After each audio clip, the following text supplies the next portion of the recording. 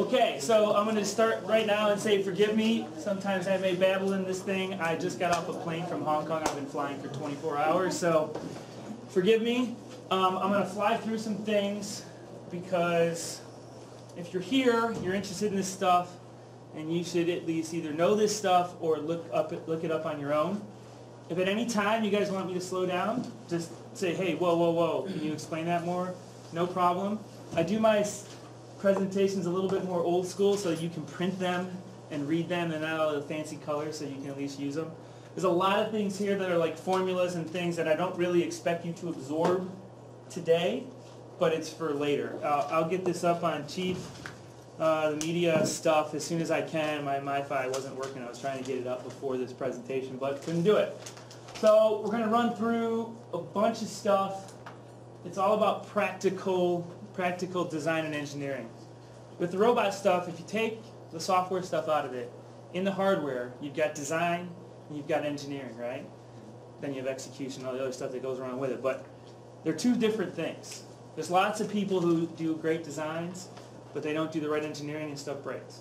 Lots of people who do good engineering, but they miss some design aspects, like my team this year, um, which we'll get into. The engineering was sound, but the design is lacking a little bit. So I'm going to talk more about the engineer stuff because most teams in FIRST are starting to get the design part of it, but I see a lot of really good designs that could be like awesome if they did a little bit of math. So Excel's your friend. If you don't know Excel, if you don't have Excel, get Open Excel, get whatever. Uh, Google Docs, spreadsheets, okay. I'm an Excel snob, so it's not good enough for me, but if you can't afford Excel or your company doesn't buy it for you like mine does, um, it, it can do pretty much anything you need when it comes to numbers. So, a couple useful tools that everyone in this room should use is uh, John V-Neun, uh, Mechanical Design Calculator. It's on CD Media. He's done a bunch of different iterations of it. Uh, during this presentation, I am going to um, flip between all the different programs because I want to show you uh, John's design calculator is one of them. He has a bunch of see there. Excel's not going to look good here. What's it? Control plus? Yeah. The bottom corner. you Scroll it, control scroll and then make it larger. Mm. Yeah, but I don't do that. I have a 30-inch monitor. I don't need to do that. uh, yeah, so you still can't read, but basically he's got single-speed drivetrain. He's got two-speed drivetrain. He has um, mechan rotary mechanism, linear mechanism, intake mechanism, but he also has all the motor specs that are current for this year, except he still has all the Fisher-Price stuff because he believes they're coming back. But um, you can copy and paste into the different things. I did that for ours. I have our design stuff. I use his stuff for all my preliminary analysis. Um, download it. Play with it. It'll also help you learn uh, how some of this stuff works. Um, I use this conference as an excuse to finally do the thing I said I was going to do. And I put a bunch of useful calculations that I use every single year, but they're in like Paul speak, and I kind of try to make them in one location that is pretty um, useful for other people. So I'll go through a little bit of that. Again, this is all about practical stuff. All right, constants and formulas. Don't expect you to deal with this. I don't care if you're designing your robot in English, metric, whatever. Do all your math in metric. You'll make less mistakes because it's easier to figure out. So some of the big conversions are pounds to newtons, inches to meters, foot-pounds to newton meters, RPMs to radians per second. Do all your rotational stuff in radians per second, then you don't have to worry about 2 pi or any of that. You just do it. I mean, pi is great, don't get me wrong, but you just get to radians per second and, and, and you'll be much better. Robot velocity, torque, force, pressure, mechanical power, electrical power, and friction. We'll go through some of these in detail, but again, this is for future reference. Okay, don't be afraid. Motor formulas. All seven of these are different mathematical ways to represent DC motors in a very easy way. Uh, torque, rotational speed, current, um, that's pretty, and power. Okay, those are the four things you need to make sure you don't burn out motors, or you have enough power, have enough motor torque to do your job, or you have enough power to do the job in the speed you want to do it in. And again, We'll get into the details. This is for future reference. I use three, three and four all the time now since we have so many motors. um, and we do a lot of combining motors. It's really hard to figure out what each individual motor is contributing. I think I got that problem solved, and um, it, it opens your eyes to a whole new world of what's going on. Okay, traction. I have to say this. 90% of these slides are from Ken Patton. Completely ripped off from Ken Patton. Uh, we did a presentation together a while back. He had half the slides, I had half the slides. I liked his, so I'm using them. But we're going to fly through this. Traction, normal force, coefficient of friction. Who, who's familiar with, who's not familiar with this? Okay, great. We'll fly through. So you guys get that. Here's an interesting way to figure out coefficient of friction. has nothing to do with nothing except the angle at which, so when you want to test stuff, you want to test your robot's coefficient of friction, put the carpet or whatever the playing field of the year is, put it on some plywood, measure the rise and the run, and you can figure out your coefficient of friction. That's your real coefficient of friction. Um, you should do that test because, again, things you thought were good aren't, and things you thought were bad actually are pretty good. Okay, materials, shape, uh, material floor surface, and surface conditions. Materials of the wheels, you guys probably all have seen this. Soft stuff's really good, but it wears too fast. Hard stuff's eh, but it lasts forever, so find the balance. Um, shape. Uh, at Vex Pro, we played with this shape stuff a little bit with the Versa wheel. We thought that we were onto something. Um, we still believe it. It uh, shape of the wheel digging into the carpet.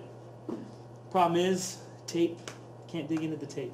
So, but so you can play with the material you will, the shape, cutting. You know, buy wheels, cut cut diamonds in them, cut X's in them, whatever. It'll help. I love this slide. I'm pretty nostalgic. Some of you guys remember this. Yeah. Back in the day, you could use metal to contact the floor surface. You generate a ridiculous amount of coefficient of friction. Currently illegal now.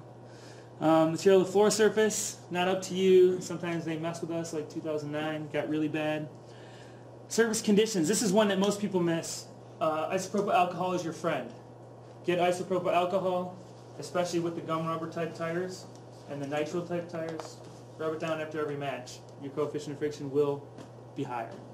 And it's legal because it doesn't leave residue. Again, normal force, weight. Oh, my favorite picture of all time. 2002 IRI. That's young Andy, young and skinny Andy Baker back in the back there. That's 308's robot. They transferred ridiculous amounts of load to the robot so much so that the, the, the carpet didn't fail, the robot didn't fail, the carpet just started peeling up. So it's crazy things you can do with traction if you manipulate the numbers like you're supposed to. All right, we went fast through that because I just wanted to make sure everyone is at the same baseline. Power and motors. Some people use graphs for motors. I only use it to kind of explain the basic principles, but everyone in here probably is already there. So I use numbers for everything because I use Excel. So every motor, DC motor, can be approximated pretty darn closely, especially the way we use them, by a line. There's four numbers.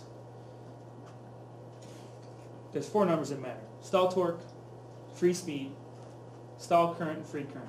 Free speed, speed at which there's no torque generated. It's the fastest your motor can go.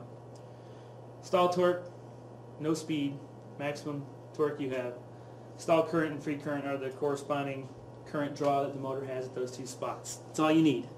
It's everything. Slope intercept form, some of us haven't used it in a long time. Some of us probably have used it recently. Um, it's your friend. It's a straight line. Slope intercept form is the best way. Turns out for a DC motor, the slope of the line, the speed torque curve, is the negative of the stall torque divided by the free speed. Pretty straightforward.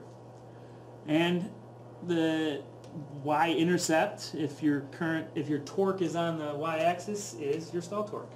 So the equation for a motor goes into a pretty simple form. Uh, negative stall torque divided by free speed times the speed that you're at plus T stall. Those seven equations or whatever I did in the front, it's really just a manipulation. Two of them are just the manipulation of that equation, right? Just rearranging terms to get speed in terms of torque, torque in terms of speed. You can do the same thing for current, although it's not as simple because um, there, there's a, non-zero term because of the free current. So um, again, you can derive it yourself. It's very simple, but the final answer is on page three or whatever there. All right, power. Power, power. It's all about power. Power is absolute. You only have so much, and you can trade torque off for speed. That's it. If you, if you're not fast enough, you, or you have not enough torque, it's not enough speed, you need to add power. There's really two ways to add power realistically in electric DC motors. Increase the battery voltage, which currently isn't legal in FRC, and add motors to your system. So, let's add motors, because that's fun.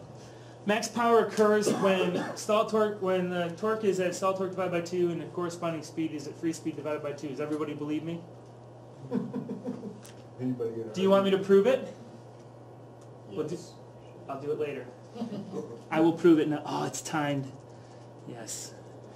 I will prove it right now then. Okay, let's go back to... I was hoping someone would say yes. Because then it wouldn't be my fault. Alright. This equation right here is power. Torque times speed. Very, very, very simple. Take the torque equation and multiply it by rotational speed. You get that. Combine the terms, you get that. Anybody know how to find the maximum of a curve? What do you do? Take the derivative. And then set that to? Zero. Yep, you do that. This turns to 2 times that thing times omega plus that thing equals 0, right? Say yes, yes. Subtract this over here, you got stall torque over here, right? Right. Yeah. Sure. Yes. See, I have to do it on my paper. I can't do it in my head.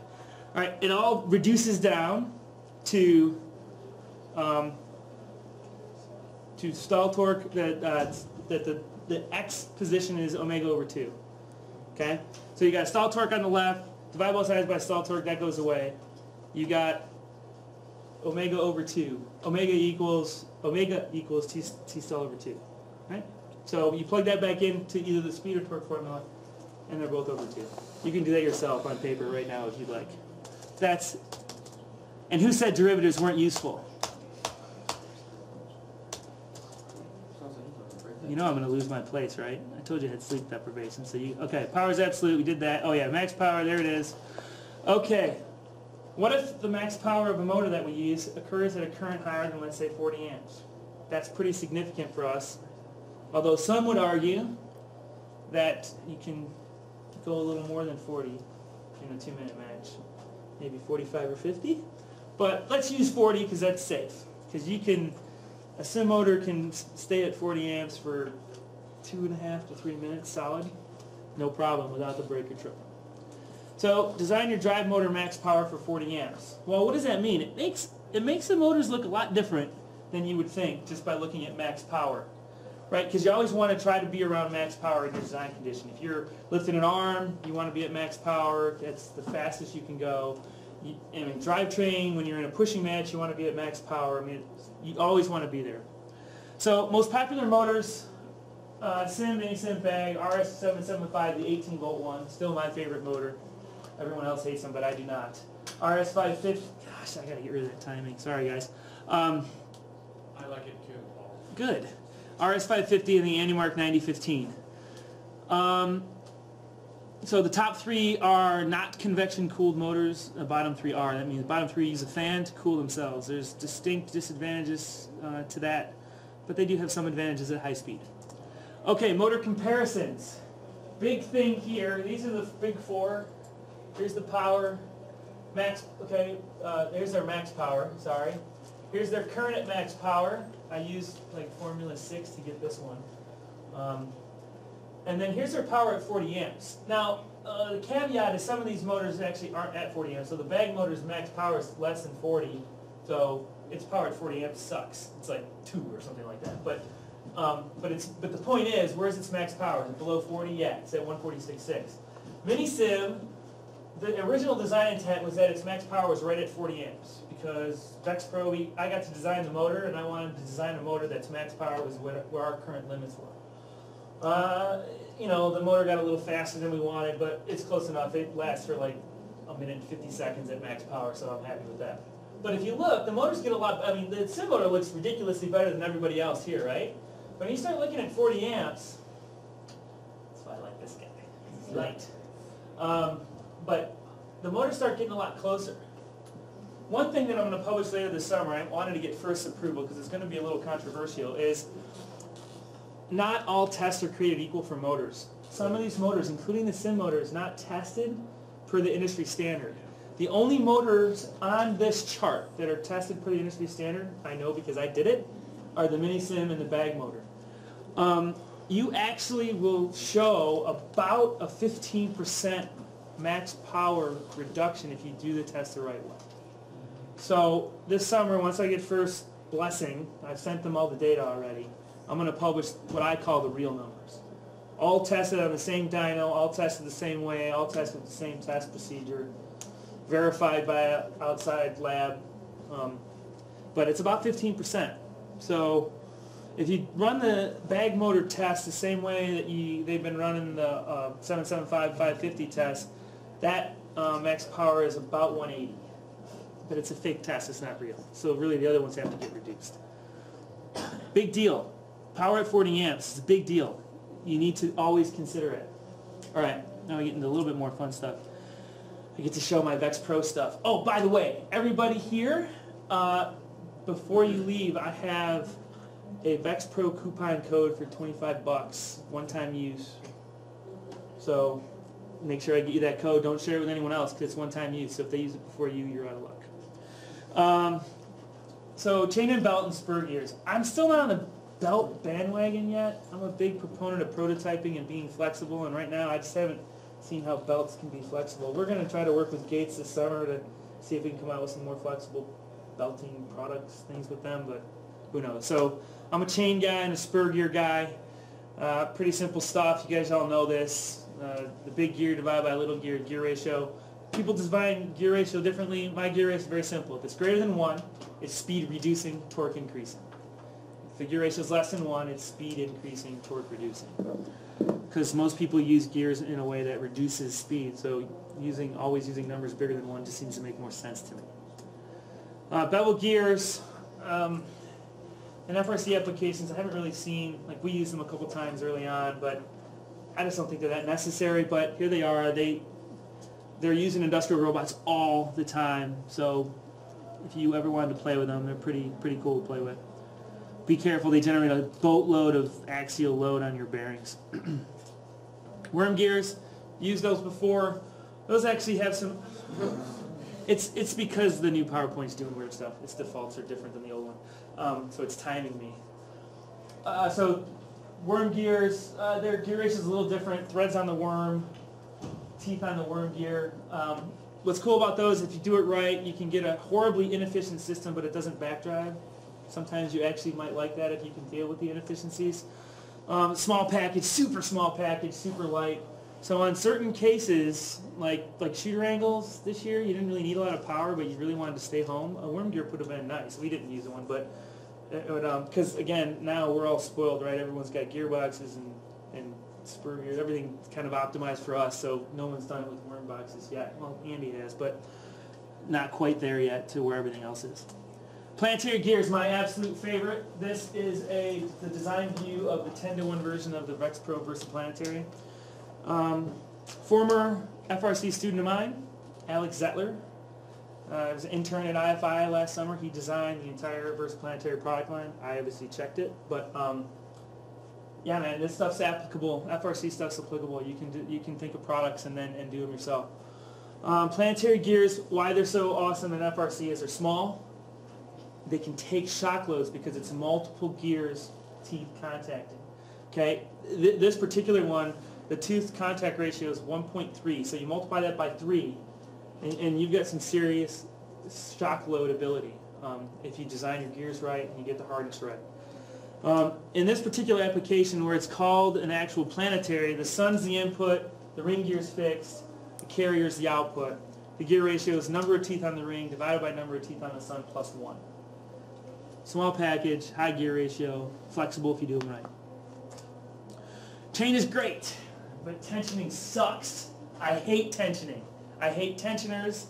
Some of you have spent a great deal of cool things making tensioners. I just throw them away. I hate tensioners. So, necessity drives all invention. So we did a ton of testing about five years ago trying to figure out how to get it right. So when you use a number 35 chain, you use a number 25 chain, you get your center distance right. So Even after it stretches, you don't ever, ever, ever have to tension your chain ever again. So, this is a view of the current Thunder Chicken Robot drive module. Um, it, uh, the butterfly drive thingy where the Omni wheels at one speed and the, the traction wheels at another, not the point. 16 tooth sprocket to a 36 tooth sprocket. Our initial design was 4.5 inches between them. I'm like, yeah, that sounds good. Pretty even.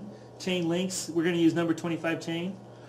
Um, so you have to carefully select your center distance. Um, Machinery's Handbook, another thing for you students, if you're going into engineering school, get Machinery's Handbook. I make every single intern that works at IFI get that. I mean, IFI pays for it, but it has a ton of useful stuff. One of the things is for this chain, um, is how to do chain, there's chain formula based on tolerances and all this great stuff. So, the formula, what I call the master formula for chain, is the CD is center distance in number of pitches. So number 25 chain is quarter inch pitch, number 35 chain is 3 eighths pitch. So using number 25 chain, 4.5 in number of pitches is 18. So there's that's why I thought it was a nice number, nice and even, beautiful. 18 teeth pitches between them. I'm like, yeah, that should work great. Um, the number of links is by this crazy formula. So if you are quick with your math, you will see that if the two sprockets are the same size, the formula reduces to that, which that's why I thought 18 was going to be good. But different sizes. So 62.563 number of links. I looked all over McMaster, could not find a .563 link. So uh, now what? There's another formula. The number of links equals that mess right there. Round to the nearest even links. Why? Because I hate offset links. You need even links in your chain link, otherwise you don't have to use a stupid little offset link. So I rounded to 62. You recalculate the center distance in inches with this formula. Lots of craziness. Again, the craziness goes away when the two sprockets are the same diameter. So for you guys who do all your gearing in the gearbox and then just chained everything, then your formula is much easier to deal with. Center distance is 4.429. Great, now it's going to work, right? Wrong. Tolerances. Chains have very specific tolerances. One of them is they are at least as long as 0.25. They have a specific tolerance width. Through all of our testing, we came up with these two numbers. That's the number I implemented on the Thunder Chicken Drive this year. I've had zero, zero issues with it. Um, we used the 12 thousandths one every other six-wheel drive year. We used the 12 thousandths one on the drive chassis that we did this year, the Vex Pro drive chassis. You add that much to this center distance, and then your tensioning Is that a function of number of links? Nope. Turns out that it's not because the spec maxes out. So per X amount of length, it maxes. So there's a tolerance, but it doesn't stack up forever. It only stacks up a- foot, I think. Yeah. Okay. So, and that's all in machineries. Back, and I, I backed it up with, I called the industry. It's actually an industry. But, um, uh 'cause ro- uh, a lot of robots used to use this stuff, so they were really particular about it. So they're, the tolerances are pretty well spec'd out. Um, although, Jim, for number thirty-five, I suspect that at the super long lengths, I would probably go to eighteen thousandths on the center distance too.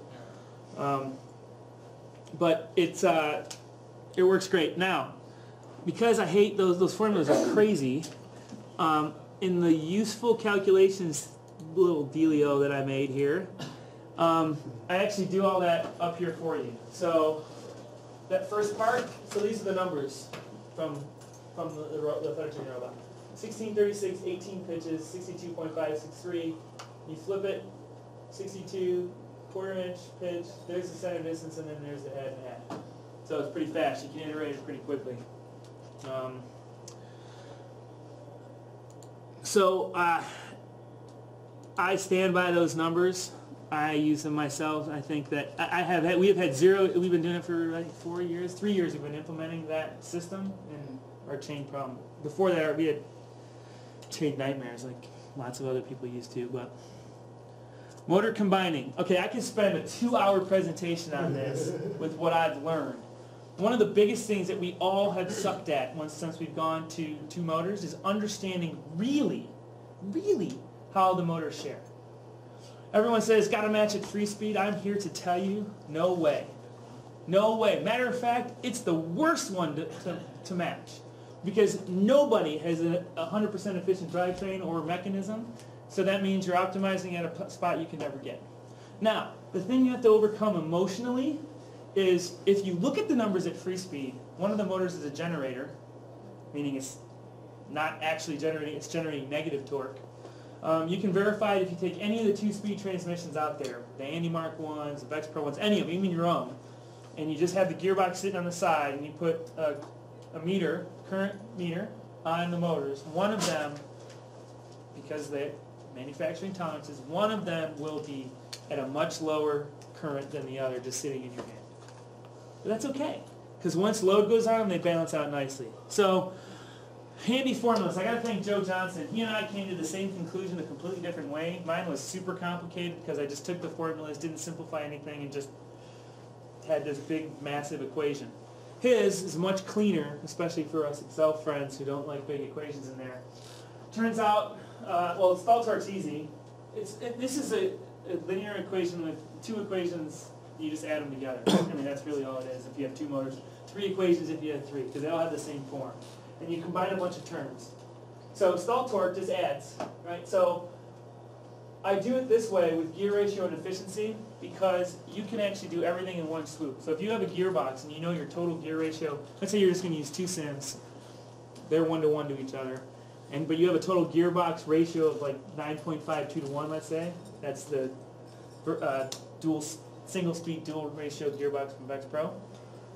Uh, that you can put those gear ratios in here, and then the end result of your combined motor is actually your gearbox output. And so when I show you the calculator that I did for this, you can go to John's spreadsheet, figure out what you want, and then put those numbers in your actual motor combo, and that will be, that model will be of your actual gearbox. So you have the exact output torques, the, tor- the current behavior, the total current draw that the entire system is going to be, the power, how much power contribution each motor is giving you. And I can tell you this, I thought I knew pretty much everything there was about motor com- combining, but when I actually dug into the numbers, it's not that intuitive. Sometimes you want to actually match motor speed at max power. Yeah. That's crazy because at free speed, one motor is doing no work Yeah. at all. Way no work, like negative 50% work. Um, crazy. But when you combine them and you look at their ma- at your design conditions, they combine better there. So uh, the spreadsheet I made makes it, uh, it's going to be a lot to look at here, but when you dive through it, you'll see that it works. So this whole constant thing, Joe just combined terms, I think he used MathCAD, combined terms and got this simple formula for free speed equals stall, stall torque times these two constants divided by the sum of the constants. Turns out the constants are just a bunch of combinations of the free speed, stall torque, and gear ratio. Uh, you can derive, I had, I had to prove to myself that his was equivalent to the way I did it, and like 10 sheets of paper, I fi- finally figured out they're exactly the same. So I just been using his ever since. uh, we'll go back to, oh, uh, let me, let me show you some of the, um, the things that the spreadsheet does for you in this. Again, um, it's pretty interesting. All right. So one of the things I did, you have to use, um, I'm using Excel 2010, so it's a macro-enabled Excel, but it's, and it's using the ActiveX Dropboxes, so if you have like an older version, it won't work. Sorry, get the new version. Um, I have a list of all the motors that are legal this year, um, and when you select them, it selects the appropriate whatevers. Now it turns out the motor combiner can actually be used just to evaluate a single motor if you just select the other two motors to none. Um, there's some rules you gotta follow. They're over there because I suck at error handling because I'm not a software guy. So um, if you don't follow the rules, it'll give you a bunch of errors. So don't do that. Uh, so what I did was is I made it so that the first two motors you could look at them like a two-motor combined gearbox. If you put in three, you could look at the three. Um, here's your little K's that don't really matter at the end of the day. You've got gear ratio here and your breaker current. So you can adjust, like, because I like to use 50, sometimes 55, sometimes 60, um, for your breaker current, so you can play with that. I hard-coded the efficiencies. Um, you can override them if you want, it doesn't matter. I, I use efficiency based on gear ratio because I know the rules of thumb, one stage, two stage, three stage.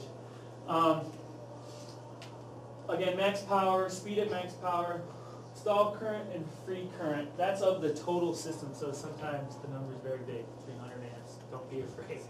Um, I did individual motor data, two motor drive and three motor drive, and this is where your eyes really open to see what's really going on. So you can, ba- based on speed, speed's the equalizer. So when when you're, when you're having a combined motor, whatever speed they're operating at, all the motors are operating at that speed, so you can back out all their characteristics from that.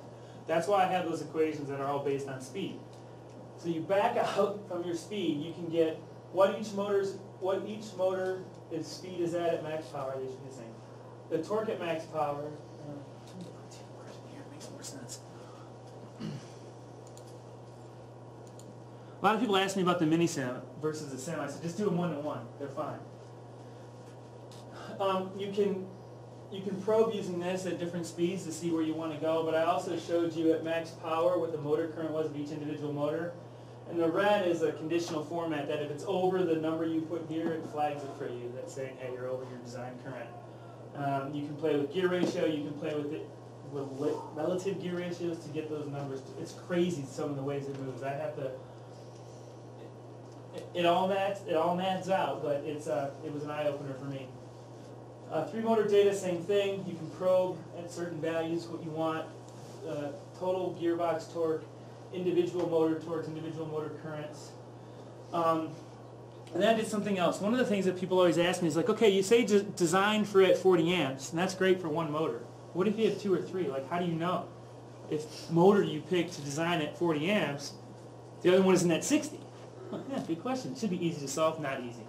Um, so it actually reduced down to quite a simple form, but you can't, there's no way you can jump to that form. So one of the things I did, and I, I may change this, so I, I'd like all of you that are here, use it, give me feedback, I'll change it. I was gonna combine it with John's too, because this by itself isn't quite enough to design an entire mechanism, but it is to get a good understanding of motor combination. Here, I say, so basically, this column is the first motor, this column is the second motor. In this column, I said, okay, my design criteria is 40 amps. Now you guys see why I did equations where current was the dependent, or the independent variable, so I could back out all the other information. Um, so here, all the way up to current, is all the parameters if the CIM's designed at 40 amps, okay? Or whatever that current up there that you typed in. This number right here is the Mini CIM that's in that gearbox. That's what current it's running when you design the gearbox that way. So it's telling you what the other motor's gearbox, or other motor's current is. So like in this case, it's good. Now, if I did it the other way, same, everything else the same. I just said, okay, I'm gonna design uh, the gearbox to be such that the Mini CIM's at 40 amps, while the CIM motor is at 50. So those are some things that you can play with. One way is pretty safe, one way still relatively safe, but not quite pure. Uh, next thing, three motor drive, you could imagine if I did it with three motor drive, it would be very complicated, so I cheated. I just said, okay, this guy's at 40 amps, he's designed at 40 amps. The first motor is the one that's designed at 40 amps. The other two motors are as a result of that. So if you want to look at different motors, you got to flip them. You got to put one in motor one or whatever. Otherwise, this would get too complicated. And again, none. Did zeros because I suck at error handling. Probably couldn't handle that error, but if you had another motor in there, it would do the math for you. It's all real time, all instant. One other cool feature um, is the motor equation over here. It automatically updates when you change stuff. So it, you actually get your equation if you want to do your own thing. You know, if you, you say, okay, I got my motor now, I don't want to use Paul's stuff, I want to use my stuff, but now I have my motor, my equivalent motor, which is what we call it, and then there you go. So that's combining motors more than you probably wanted to know. I'll tell you what, I, it's changing the way I'm designing gearboxes now. Okay, pneumatics. Some of us love pneumatics, some of us hate it. All I have to say about pneumatics is if you decide that you want to use air on your system, use it everywhere. Don't do it for one thing. If you do it for one thing, you're dumb. Okay? Don't do it for one thing. It's too much weight. You can do it with a motor lighter. So if you say, okay, I only need it for one thing, start looking at all your other mechanisms that could use pneumatics. Anything that's at stall, anything that only needs to be in two positions, sometimes three now if you get the right cylinder, pneumatics are the way to go. I've always hated the Clevis rod ones from Bimba, so I would always try to avoid pneumatics, but now I use the SMC NCQ8s, I have them listed here. They're um, a pancake style, but they're square and they have tapped holes at the end, so you can hard mount them to stuff and you can use them as structure. And they have much bigger um, rods and, and much much more options. They're a little bit more money. They're a lot more robust. And the other thing that's made pneumatics more appealing are those large plastic tanks, the ones from Pneuaire. New Air, P-N-E-U-A-I-R-E. Those don't blow up ever, and they're 44 cubic inches too. I think. Yeah. Do they leak? Uh, yeah. So basically, we have to buy 20 if we need if we want to use 12. No, well they leak over two minutes, but if you don't want to put a pump on your robot, and because it takes seven minutes to pump up seven tanks, so you just have a kid that really likes pneumatics, just go through and find the ones that don't leak. That's what we do. And Pneuaire won't take them back, but whatever, I don't care. There's Really? their You, you have that, that high of a fallout ratio on leaking? Yeah, but it takes them over five minutes, man. Okay, all right. we don't want them to leak ever. Have you ever sat in a match waiting for your match to start no, five minutes? the It's the tank that's leaking? It's the tank to the fitting. Yeah, it's Okay. it, the design they had to do so they wouldn't have the crack propagation issue that the the other ones had. They had to do this weird thing at the thread interface, and that if you over, it, it's probably self-induced because the kids are over tightening them because you don't mm-hmm. really have to tighten them that much with the plastic. And so once you do that, they creep, and then you're done. Then they'll leak forever. No amount of Teflon tape will help you. Okay, sizing is simple. Volume calculations take a little bit more effort. Um, pneumatics are the most simple of, of math. I mean, it's force is pressure times area. One thing that most people don't take into consideration is that your retract force is less than your extend force. And on the smaller cylinders, it's significant amount. So you're shifting transmissions, one direction is always slower than the other. That's why. So those are the formulas. It's simple, it's simple geometry for the area. Um, we're allowed 60 psi max. I rarely use 60 psi. I try to use the least amount of air possible for two reasons. The main one coming up next. Uh, do I have enough air? The biggest question, especially for those of us that hate using pumps. I don't hate using pumps because of the weight. I hate using pumps because in 2008, when our pump turned on, our robot slowed down. Because the pump takes a ridiculous amount of current away from the system. Especially now with all the motors that we're using, the pump, it, at all costs, put that stupid thing off the robot. That's my belief. But you got to get this one right. It's not hard to get right, and the little useful calculations thing, I put a little section in there. Um, I actually stole it with permission from the Simbots. It's the one they use. I've been using it for a few years. I asked them if I could publish it. They said yes. So um, you're allowed 120 psi storage. Use it all.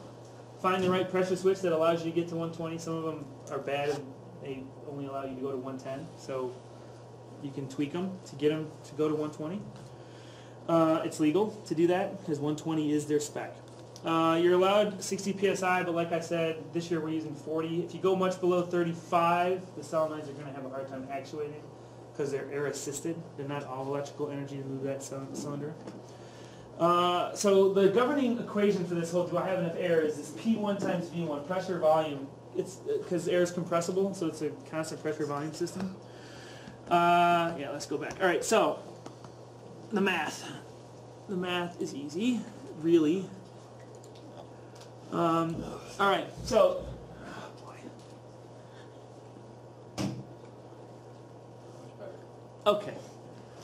Uh, so you make a list of all your. This is the actual one from the 217 robot.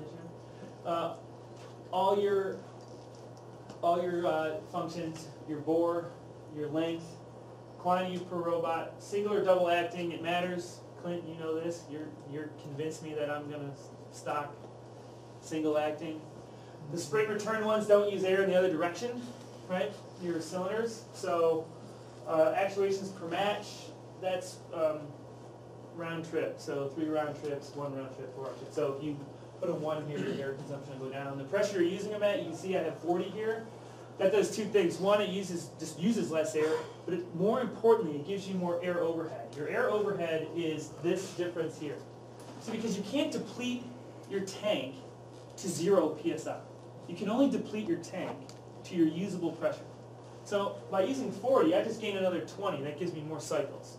So I'm using less, plus I get more overhead. So I would try to minimize that as much as you can when you're designing your systems.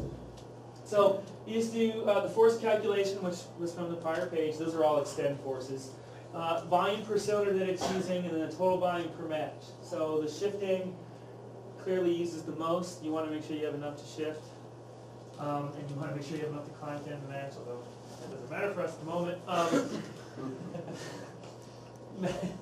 max pressure in the tank, min pressure, required volume is that. Air tank volume, we are conservative, it's forty-four really, but we use forty-one. Safe, a little bit of safety factor, required air tank's four point two. Uh, at one time, we thought we were gonna shift more than that, so we had six. It works. This is a very conservative way to do it. Um, it doesn't take into account, you get a little bit extra oomph from the compressibility of the fluid, more than, it's not straight linear, so. Um, but this works great, you can, you can add columns or add rows to this, and, uh, you won't have to guess about pneumatic, I think most people guess about pneumatic cylinders, and you don't have to. It's actually quite easy. Uh, so I threw those all into one, one little spreadsheet here, it's, it's not super refined, but Paul, do you have any sort of leakage? No, we, we don't stop until we don't leak. That was that whole tank thing, that's why we throw away tanks. So we do the tanks first individually, then we do the regulator system individually, and then we do the solenoids individually, and then we combine them together and then test them there. Are you just using a standard uh, pressure gauge? No, we're using the bubble test, well, pressure gauge and then the bubble test, Oh, yeah. yeah. But we do everything over five minutes, because we find that that, if you find your way on Einstein or other places, it's at least that long. And they're very mean to you when you're out there. I'm not kidding. It's not funny. It's very bad.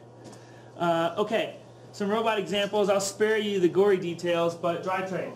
So we designed it with four CIMs and two Mini CIMs, uh, four inch uh, Vexpro traction wheels, four inch Vexpro Omni wheels. That's how we're doing the shifting. Five to one gear ratio on the Omnis, 11.25 to one traction. If you were paying attention earlier, 36 over 16 times five is 11.25 to one. So uh, we'll look at the math quickly. Uh, I literally used John uh, John. V-Neun's calculator here. So um, uh, originally I, we had uh, four CIMs and four Mini CIMs on the robot, but we had weight issues, so we pulled them off.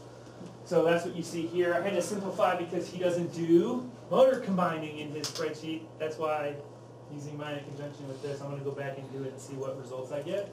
But this jives pretty much to our testing. So you can copy and paste the motor data here. You can, John allows you to do some fudging for speed loss for your drivetrain. So if you know that your drivetrain is not quite at free speed, which we all know it's not, you can put that in there. Uh, number of gearboxes in the drivetrain, number of motors per gearbox, that's how I had the eight, right? Total robot weight, weight on driven wheels, wheel diameter, wheel coefficient, those are, that's the Vexpro rough top tread. Uh, there's your five to one. Um, so high gear, low gear, there's my sixteen to thirty-six.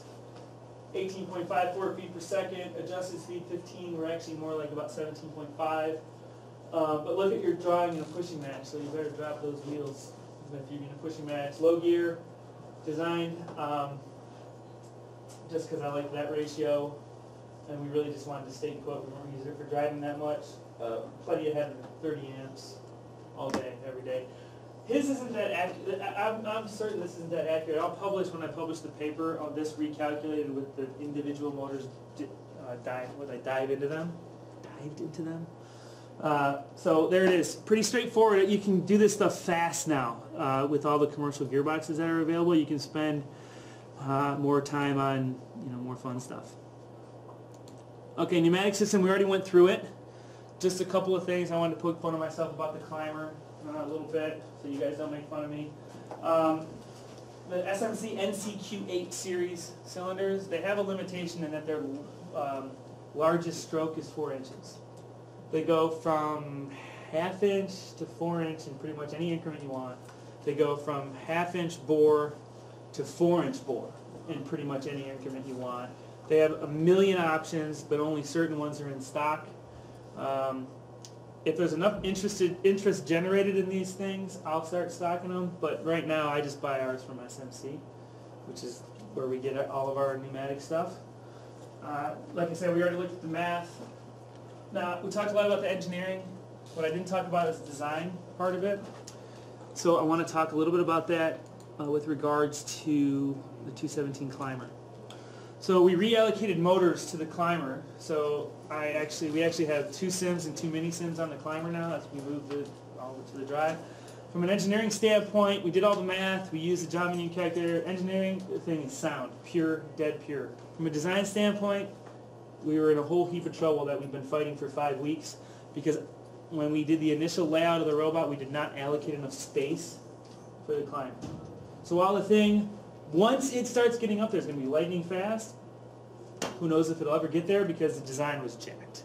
So there's two elements to this. I focused mostly on the math because that's where I see where most teams are having their issues when they have issues. Um, but it's, it's not just all about that. So fundamentally, uh, this climber and the 1114 climber are exactly the same. The difference, they left like seven inches for the climber to go up and over. We left like three and a half. And that's the biggest difference. And it's all, des- that's just design. It was just design choice, it had nothing to do with engineering. So just make sure you think of both when you're doing your mechanisms or your designs. Whatever you deem as your most important feature, you better have extra room for that thing. Because the thing's a thing of beauty, but we, we backed ourselves in a corner that we'll probably never be able to get out of. And that's, uh, so good. We left 10 minutes for questions, or if you want me to go through anything in more detail or back up, talk about anything else. Yeah, can you explain your telescope? Something we've never tried to do, it really complex. Yeah, they're actually not complicated. That's not the thing that's messing us up right now. Yeah, I can explain it. Um, so it's done the cheater way, and what I mean is it's not it's not powered out because it doesn't have to be because that's not that's just the way to get the thing out there. All the power is done pulling in. So give me a sec.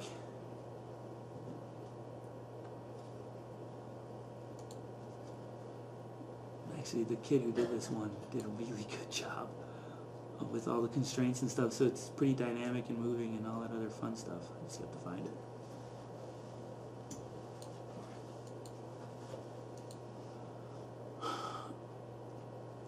Okay, so there's two stages and then a tilt here.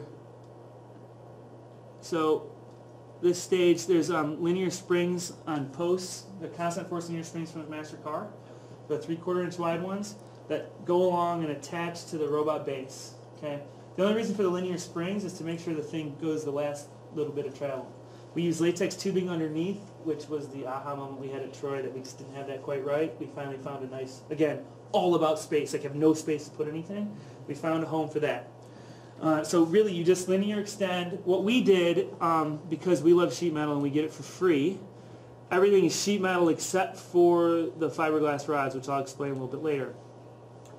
We, again, we try to get everything for free. So since Vex Pro has 3 8 flange bearings, that's what I use because I get it for free. So we use the Vex Pro hex stock, get it for free. Um, with so the bearings ride along they pinch the sheet metal. I have two eighth inch pieces, so it's a quarter inch thick. Um, they ride along that, and the flanges on both sides keep it from moving either way. Turns out that um, that works pretty good, but to leave enough clearance to make that right, um, you got to do a little bit extra so the thing doesn't flex too much. So for the second stage, we went down to one bearing. To we needed to eke out more. That was another design problem we had. We didn't have enough travel. We eked out more travel by shortening this, going to one. Same principle, just pinching top and bottom. Works great. Um, but we use this HDPE block that just drilled holes in it that the fiberglass rod, half inch fiberglass rod, um, slide through. Linear spring on that. That thing is, we actually designed, I actually designed that in from the start. So uh, that thing has never failed, been great. The ones on the side, they, they hit the pulley every once in a great while and they those things are very finicky. So if you ever use them, they're great, but you got to make sure they stay nice and flat. This one here is constrained, running along the flat, has been beautiful. The two on the side, one's been good because it has a little more space than the other. Uh, so latex tubing pulls it in, and then we have the pulley, and we literally just grab on the hook and just pull the hook. So all the force is in between the strap and the hook. So literally, this stuff doesn't see any force except the fiberglass rod because of stupid bumps on the pyramid. They deflect like, I don't know, crazy. They crazy deflect. 1114 is the same method. They just flipped it. Their second stage is where they're flexible. So their last stage is rigid, and their middle stage is Delrin rods. Same basic principle.